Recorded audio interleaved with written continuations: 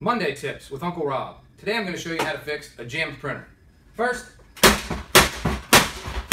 smack it a couple times. Then, take the paper tray out.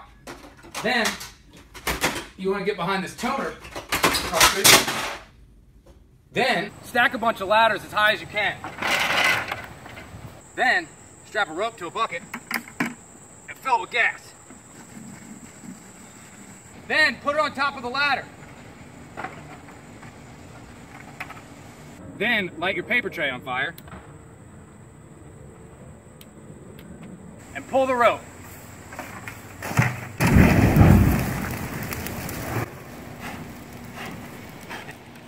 And now you got your copy.